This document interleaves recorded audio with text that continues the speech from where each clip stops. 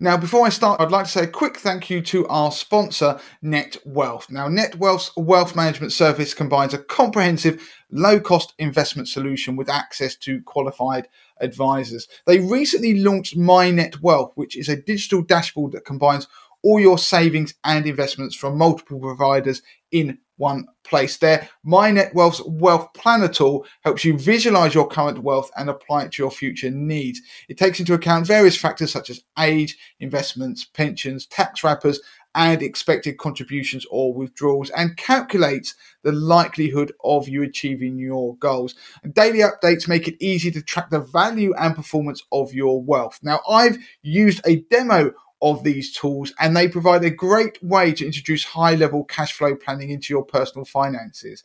My Net Wealth also provides a library of useful personal finance content. And if you ever need advice or guidance, their highly qualified team is always there to help. You can find out more information about Net Wealth and sign up for My Net Wealth in 30 seconds by visiting mynetwealth.com com. Please remember the value of your investments can go down as well as up, so you may get back less than you invest.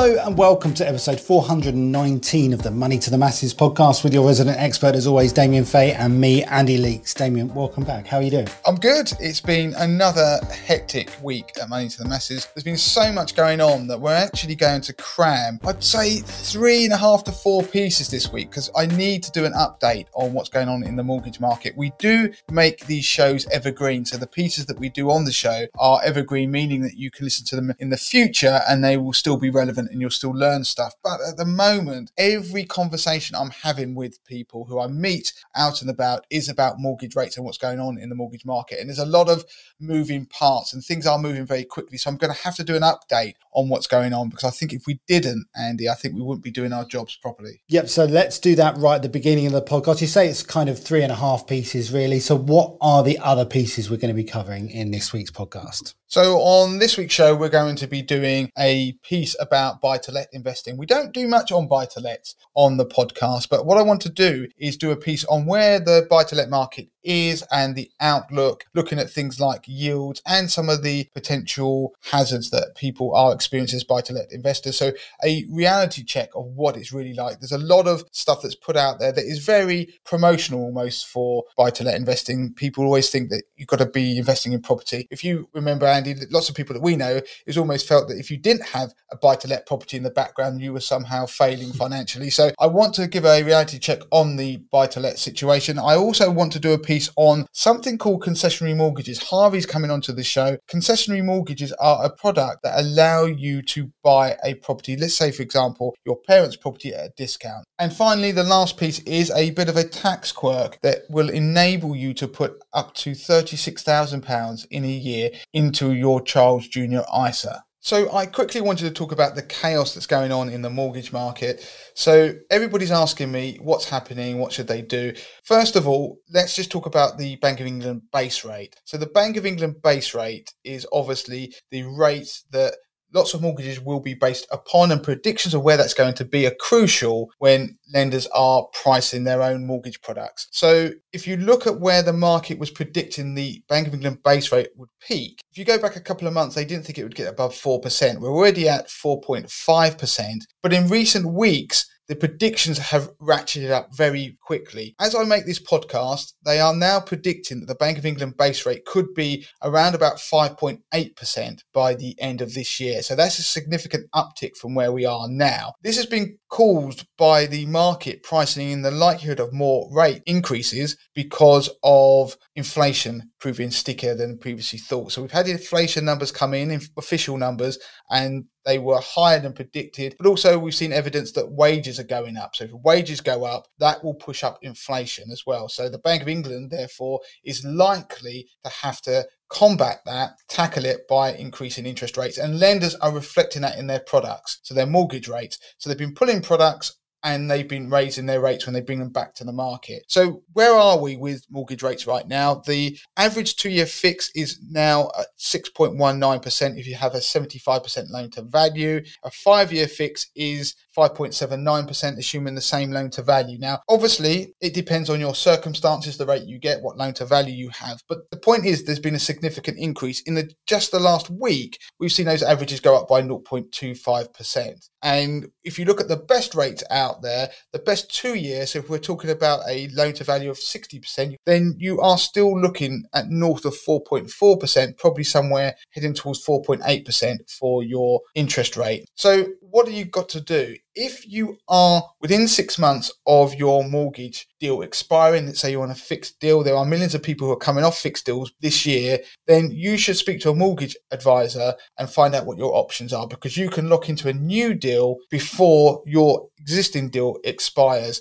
You can even lock into a product transfer with your existing provider. The terms in which you can do that in terms of how far before the end of your deal will vary. But if you speak to a mortgage broker, they will help you. Of course, there are other things you can do if the rate and the monthly payment is going to be very high and you're going to struggle when you come to the end of your current deal. There are options you could look to extend the term of your mortgage. So there are things you can do.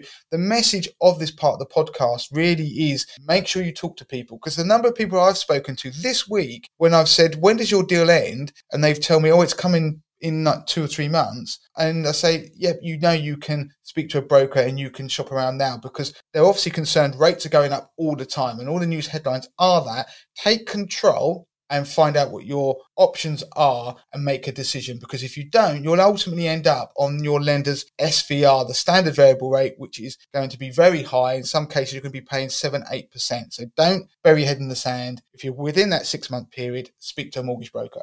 Okay, so let's start with the first piece of the podcast then buy to let. It's a bit of a reality check. Okay, so buy to lets, we don't touch upon it much on the podcast, and I thought we'd do a, a significant piece looking at what's going on in the buy to let market because there has been some research that's been published about what's happening in this particular area of investing. So, to give you the background, where we are, the private sector landlords has experienced like remarkable amounts of growth over the last sort of 30 years. So, we went from 1.7 million landlords in 1989 to 4.6 roughly currently. Now that's been fueled by lots of different reasons, legislative changes, flexibility over rents, tenancies. So there has been a number of reasons why buy to let was very attractive. And of course, we were in a low interest rate period. So I can remember after the financial crisis where people, or just before, in fact, where people were jumping on the property ladder trying to buy a house because prices were rising. They'd be able to flip the house or they would become buy to let landlords. So there has always been this insistence in the background that buy to lets were a good investment. Now,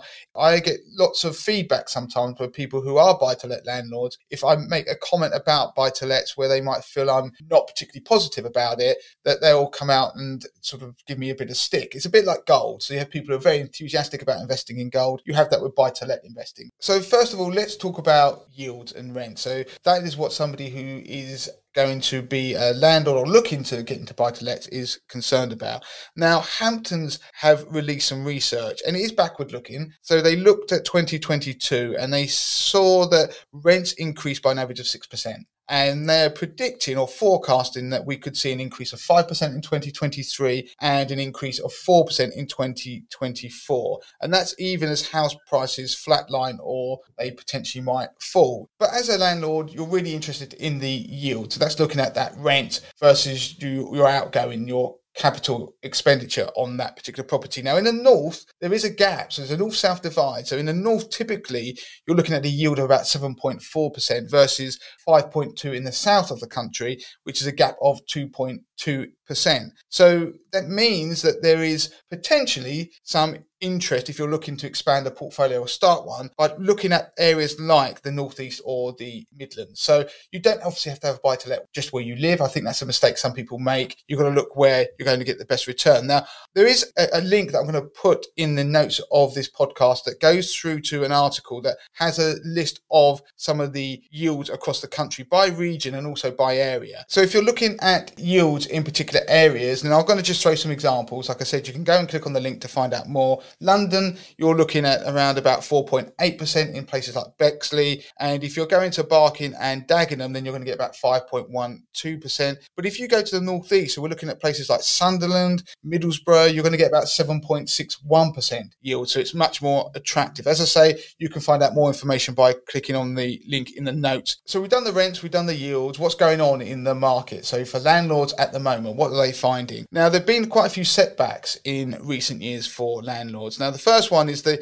there was a phasing out of the tax relief that landlords could enjoy on their mortgage interest costs. So that hit their profit margins and that phasing out happened up until April 2021. So previously, landlords were able to deduct the full amount of mortgage interest payments from taxable income, reducing their overall tax liability. So that changed. Then we also saw things like stamp duty increases come in. So there were additional rates of stamp duty. We've also seen changes to capital gains tax, which we covered on this podcast from April this year, which increases the tax liability if you're going to sell a property. And then we've also had the impact of rising interest rates, which I'm going to go on to now. So buy to let mortgage rates have nearly doubled since March 2022, and that's put significant pressure on landlords. Now, two and five year mortgage rates are on average 6.03% compared to 3.05%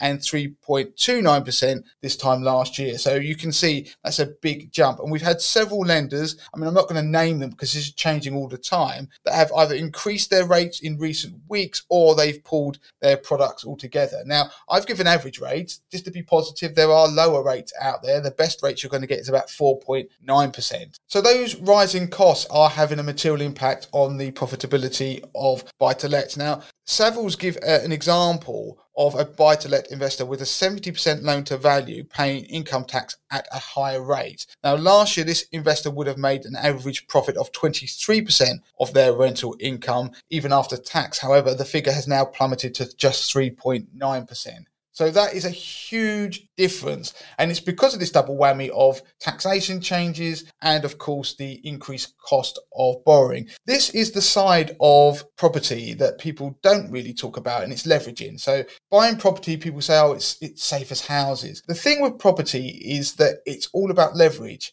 a lot of the time when people make money. So you're borrowing money to buy assets where the price historically has steadily increased by around about 3% per year. But the reason that it often gives people outsized gains and they can make a lot of money is because of leverage. And so it amplifies your profits, but it can also amplify your losses, which is what people are finding now. And even people personally are finding that situation where they are finding their mortgage payments on their residential homes jumping. So it's not all good news there at all. And the other thing to throw in there, there are more regulatory changes on the way. So one of those is the potential for a minimum standard of energy efficiency in rental properties, but also we've had the renters reform bill. So we're having changes being made to legislation that will change landlords' rights. And one of those things is it's going to be changing something called Section 21. Now, previously, landlords could evict people without reason but that's going to change. It's going to make it a little bit more difficult for landlords. We're not going to go into it on this podcast, but that will put off people who potentially might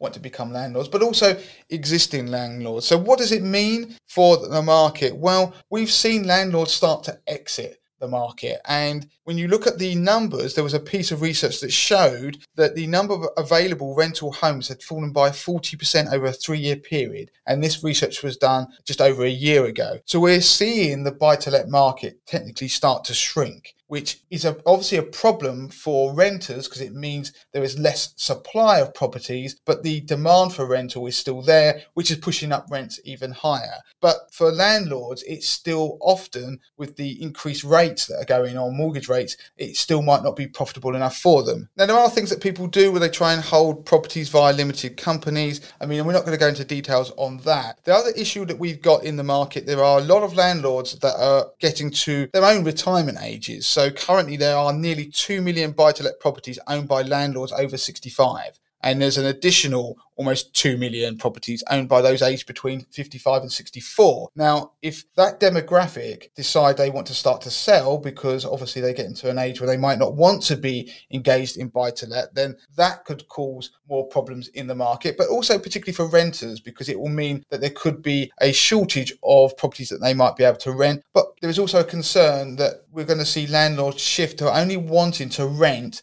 to people who are financially stable. So people on lower incomes might find it more difficult to find properties because of the changes to legislation and obviously landlords trying to make as much profit as they can and not being able to survive if they have periods where they can't guarantee they're going to get rent. So, what does this all mean then? Buy to let landlords are at the moment feeling the squeeze. There's been changes to taxation, which is obviously driven by the government's agenda. There's also been things like interest rates going up, which is having a big impact on buy to let landlords. Don't forget, people have built buy to let empires based upon leverage, so borrowed money, and that cost of borrowed money is increasing rapidly. So some of those are becoming forced sellers as it starts to come down. I know most landlords only tend to have an additional property, just one property. And the other thing is that rent increases based upon some of the research, are starting to slow a little bit, and yields aren't as generous perhaps as they were before. So you're going to have to do your homework. So if you do your homework, of course, you can make buy to let work, but it's likely to work for those who are either cash buyers or who have low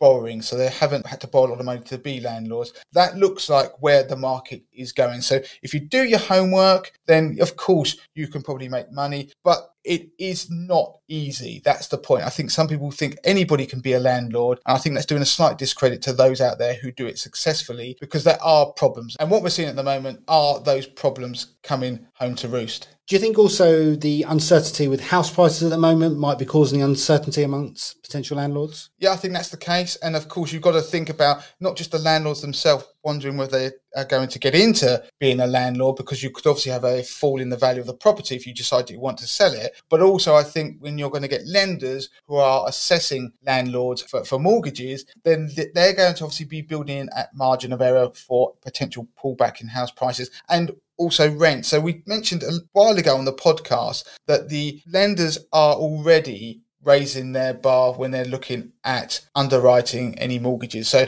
it isn't it probably as easy to get a mortgage, not only because the products are being pulled, but because lenders are going to be looking at these things probably that little bit more closely. Okay, so let's move on to the next piece of the podcast then. We're going to be welcoming Harvey back onto the show to be talking mortgages, specifically concessionary mortgages, a special type of mortgage that can provide a discount for the buyers. And Harvey's going to be talking more about that. So Harvey, welcome back to the show. Thanks for having me, Andy. So, Harvey, this was actually something I'd never heard of concessionary mortgages. So, we're going to be talking about what they are and how they can help people buy a house at a discount, particularly if it's from a family member. That's right, Damien. So essentially, a concessionary mortgage is available to people who want to buy from somebody at a discount. So perhaps a parent, a grandparent, a family member, a friend, possibly even your landlord who may wish to sell to you at a discount. And that discount can almost act as your deposit. So it's probably best to illustrate this with an example. Yeah, so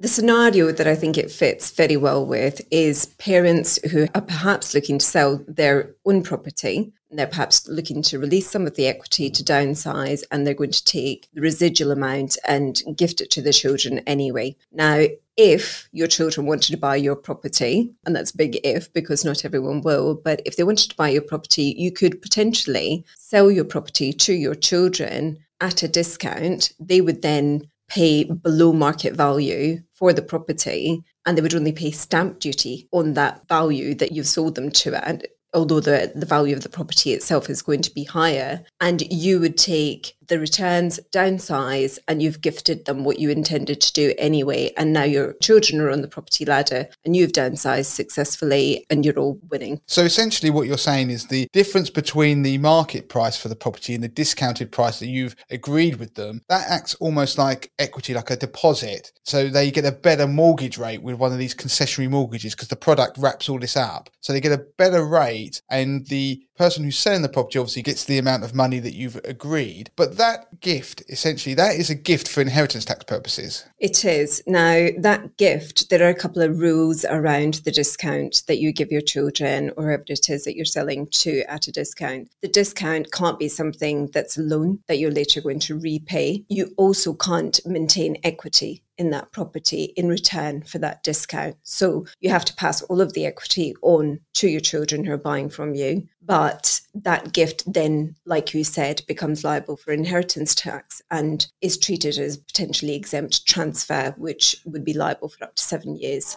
So in this example, if the parents lived for seven years, then obviously that potentially exempt transfer falls out of the inheritance tax regime. So they would actually not have to pay inheritance tax on that amount of money. So this, I mean, it seems pretty niche, but there are some people out there, if they're thinking they want to pass on their property to their, say, children, for example, and the children want to buy the house. And I mean, there are people where this happens, then this is something that is potentially interesting for them to look at. But there are rules around whether the parents can still live in the property, aren't there? Some lenders will allow parents to continue to live in the property. So if you've got a situation where you want to sell to your children, you're happy for all of the equity to be passed over to your children and for them to benefit from the lower LTV that they're going to experience, you can continue to live in the property with some lenders, but some lenders will not allow that to happen. And if you do continue to live in the property, you've also got to be aware that there may be some tax rules around which you have to work because there may be a requirement requirement for you to pay towards the household costs in order for that not to then become a gift with reservation. So this is to do with, as Harvey said, gift with reservation. If you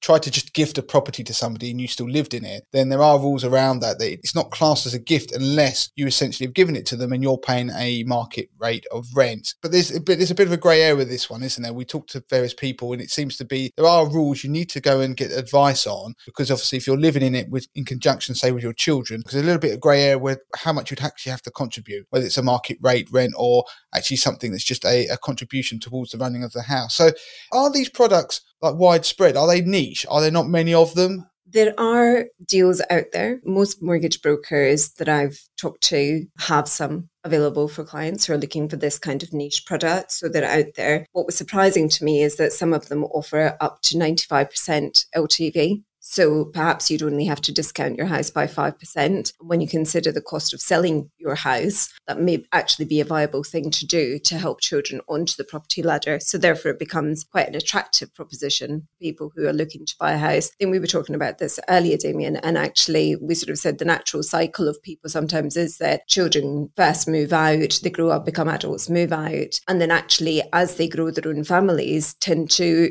navigate themselves back to the areas where they grew up in order to raise their own children. And in those situations, might sort of look at their parents' houses and think, well, I'd quite like to buy that. Yeah. And another example potentially is if somebody was a parent who'd inherited a property. So let's say, for example, they had inherited a house, they might be in their 50s and they may have a younger a child who's actually a grown adult themselves who might be wanting to try and get in the property market. They theoretically could perhaps down this route look to buy the property off of them that they've inherited so that essentially the adult child might be able to buy a house that's been in the family. I mean, these are niche things and it's not necessarily saying it's the best option, but it's worth bringing to the podcast because it's just a product that's out there that not many people, including me, knew existed, but it's something you can look at. As we mentioned, Harvey's done an article on the uh, Money to Masses website.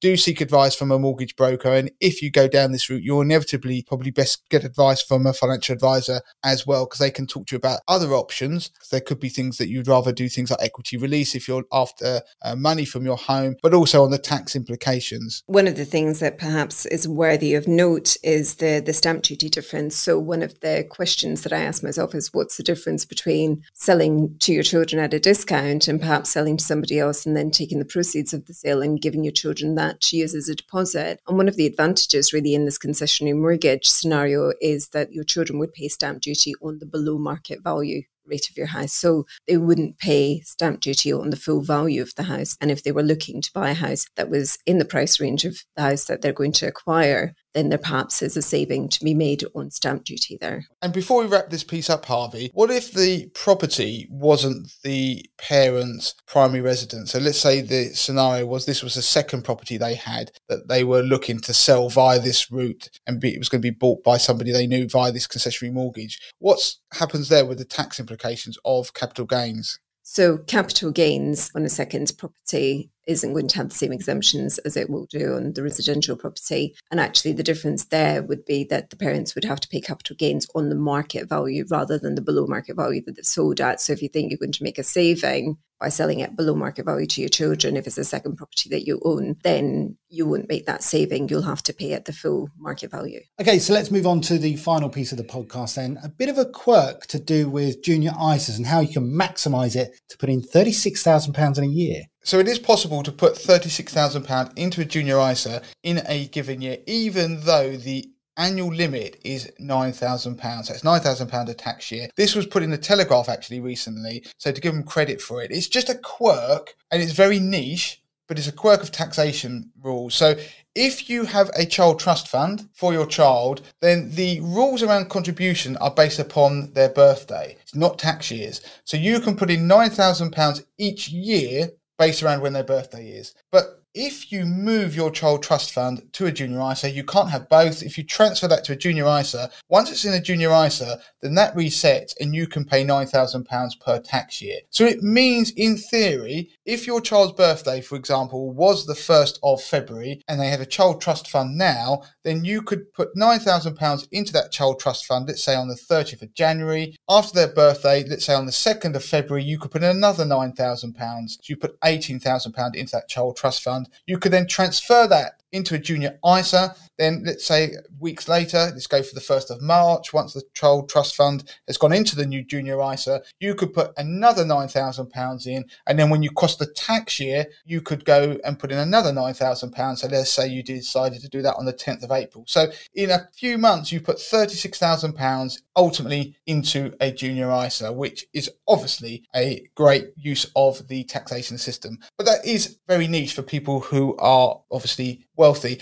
But the reason I thought it was interesting for the podcast because there are lots of people out there who do have child trust funds or their children do. And it's really to highlight that the contribution limits relate to the birthday of your child for child trust funds and it's tax years for junior ISA. So even if you can't make use of that quirk, there'll be very few people who can. What it does mean is you understand there is this difference in rules. But more importantly, if you're about to transfer a child trust fund to a junior ISA, which a lot of people do because of the wider choice you have, particularly from an investment perspective with a junior ISA, then you might want to bear in mind when your child's birthday is before you transfer it. And so that's it. We're done for this week. If you want to get in touch with us, you can do so in the usual way. It's Damien at moneytothemasses.com or myself, Andy at moneytothemasses.com. Don't forget you can review the podcast. Just go to your various podcast app of choice and please do choose the five star option give us a positive review. It really helps to boost the podcast out there. Damien, we're almost done. Is there anything else to mention? Yeah, just mention the Facebook group. So go to facebook.com forward slash groups forward slash money to the masses. And also make sure you do follow us on all our various social media platforms particularly Instagram, because I love Instagram and I'm on that a hell of a lot. And we do put unique content on there and also on YouTube. So make sure you subscribe to our YouTube channel. So, Andy, all that's left to be said is until next time. Until next time.